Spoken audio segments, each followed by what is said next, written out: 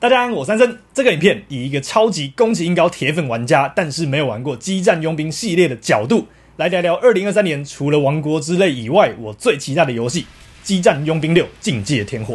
内容没有剧情雷，但会让可能还在考虑的你知道这个游戏是否适合自己。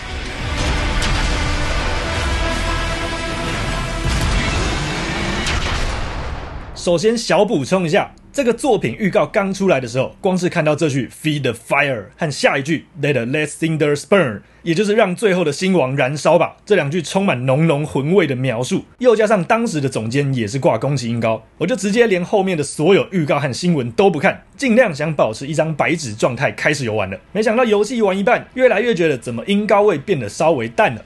查一下才发现，原来他只负责前期定义大致的方向。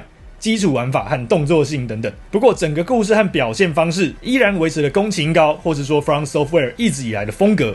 隐晦、破碎、不易理解，却被迷人的世界笼罩着。对于宫崎英高全作品白金，但没有玩过任何激战佣兵系列的我来说，既有点那么熟悉，却又是完全不同的世界观和视觉风格。刚进游戏给我的感觉，有点让我想到电影《环太平洋》，就是这种超巨大机体，以一种居高临下的角度看着渺小的人类世界，充满硬派风格的臭直男的浪漫。尤其搭配的重金属电子乐，整个塑造出来的氛围，我认为是非常迷人的。有个我自己觉得很有趣的点。是游戏里充满了各种简称，让我觉得莫名的有点小岛秀夫。我在很多影片里提过，我个人评判一个游戏是不是好游戏的依据，最注重的层面是游戏性，也就是撇除了画面、音乐这些之后，游戏本身到底好不好玩。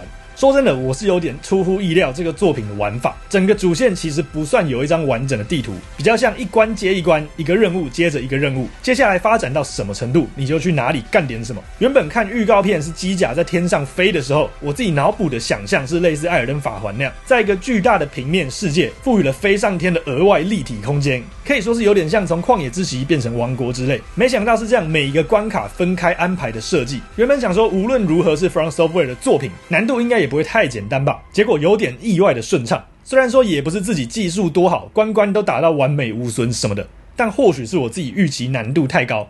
没想到大部分关卡都是能一次过的。整个游戏玩完，我大概只有三个 BOSS 打了比较久，其中一个还是最刚开始，应该可以说是新手教学的关卡。不过我在比较习惯这款游戏是可以飞上天之后。也很快就可以打赢了。这边不只是有一种在教玩家这个游戏到底怎么玩的感觉，而且也让我开始体验到，或许是这系列最迷人的一点，也就是操作手感。一开始其实是有点眼花缭乱的，毕竟一大堆飞弹和镭射、脉冲各种东西飞来飞去，然后自己身上又有左手、右手、左肩、右肩各种武器，同时又不能忽略自己的血量。还要一边观察自己还剩下几个元素瓶，然后想活下去的话，闪躲绝对是最重要的一件事。而且还不只是魂系列那样前后左右翻滚，这个游戏常常不能忘记自己是可以飞天的。有个玩我大概死了二十次，武器怎么换，装备怎么配，就是打不过。但突然想到自己可以飞上天之后，居然才又尝试了两三次就过了。而且无论是近战还是远程武器，我个人觉得打击感都非常好。关卡的直接安排虽然相对少了探索地图的乐趣。但可以飞上天，又有远程近战穿插的优秀打击手感，在游玩过程算是给了我相当深刻的印象，也算是稍微体会了为什么这么多老玩家听到这个系列要出续作的时候会如此兴奋。除了故事主线之外，还有一个叫做竞技场的模式。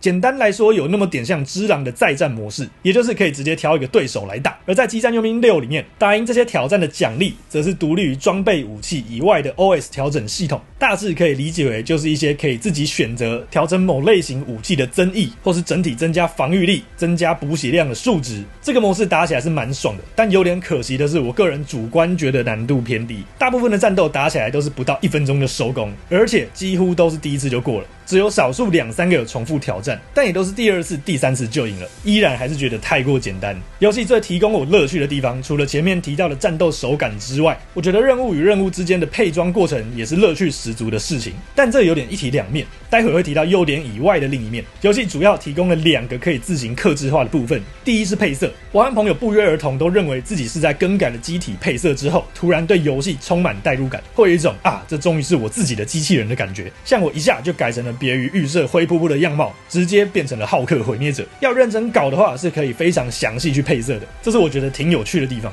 第二是我认为算是选项不少的武器装备，这些直接影响了玩家的攻击法。方式是要高敏捷的快速攻击，还是高负重搭配超重量级的武器稳扎稳打？是要远程的高密度的机关枪，还是节奏较慢但火力较强的炮弹类型？又或者是要近战贴着打的玩法？以上又要搭配肩膀的飞弹，还是能抵挡强力攻击的盾牌？可以说是玩法无穷。而机体的外观也是可以考量进去的一点。要帅还是要使用路线，就是不同风格的玩法了。提到了武器选择，就顺便提个我觉得有点困惑的地方，不确定到底是不是自己漏了。我整个游戏玩到跑工作人员字幕。都还没有搞得非常懂火炮啊、脉冲啊、电啊，跟几个其他类型到底各自差异是什么？是某些比较容易打破敌人的防御吗？还是某些属性对于特定敌人会更有效？甚至连 EM 负荷到底有什么实质作用，我也不是很明白。但这似乎也没有影响我玩完整游戏，所以不算个大问题吧。我个人认为比较可惜的是，整个游戏几个比较难的网，似乎设计上是要玩家去找一个他们安排好的最佳解，而非其他混系列那样，普遍都可以用玩家自己的流派和玩法。去解决，这就是我刚刚说武器选择一体两面的另一面。譬如说有一个网，或者是被虐杀到疯掉，而且它实在超级无敌硬，打了老半天，只要被扫个几下就会死掉。我是不怎么怕死，这没什么问题。问题是当我死了个二十次之后，心血来潮回去买了打桩机，难度一下就骤减。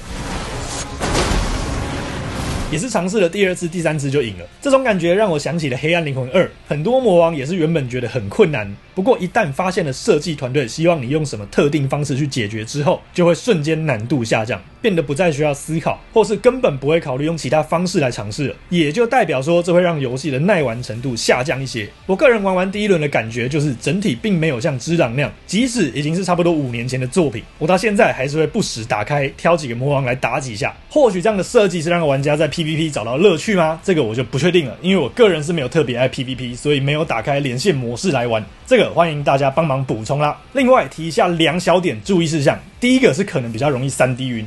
游戏上市的第一天晚上十二点一到，我准备一路打到天亮。平常根本就不会三 D 晕的我，刚开游戏打到第一个教学关卡的王，就觉得节奏超级快，又飞来飞去，导致有点小晕。结果居然玩差不多两个小时就跑去睡了。我身边也有朋友跟我相同的情况，所以如果你本身就会三 D 晕的，那可能需要花多一点力气去习惯。我有听过有人说吃晕车药可以解决，或许你也可以试试看。第二是游戏时速，我整个游戏全破主线花不到二十个小时，原本都准备了大量粮食，准备好几天不出门了，没想到第三天就收工了。我在猜，这个或许是作品接下来定位会有点像《七弹大作战》那样吗？就是提供一个主线，让玩家熟悉系统，之后可能很大的乐趣是来自跟真人的互动。如果像我一样比较偏好自己玩单机游戏，那或许也可能会觉得有点意犹未尽。但至少对我来说，这个不到二十小时的游玩过程，整体的关卡设计是非常 OK 的，并不是每一关都是进入战场打完敌人收工解散，有时候是要一对多打一堆杂鱼小兵，有时候是要打只有特定部位才会损血的敌人，有时候是一边倒数一边守住一波又一波的攻击，偶尔也还是能探索一下不算大的地图，但跟魂系列比起来，探索的乐趣还是不能比的。如果跟我一样，原本是冲着“宫崎英高”四个字注意到这个作品。而且又更偏好单人单机游戏，那或许可以等特价。这个游戏绝对值得一玩，但没有特别爱 PVP 的话，很可能跟我一样会觉得有点那么可惜。不过还是要说，整体而言，过程我是很享受这个游戏的，特别是在操作手感上。我身边有朋友非常喜欢机甲战斗类型的游戏，他也觉得这款的手感完全是上乘之作，画面上也没有什么好挑剔的。如果本身就喜欢这种机甲题材的作品，绝对不需要犹豫了，买！另外，最后想顺便提一下，刚进游戏看到这个字也太丑，用心点换个适合的字体没这么困难吧？怎么会用黑体呢？我三生，下个影片见。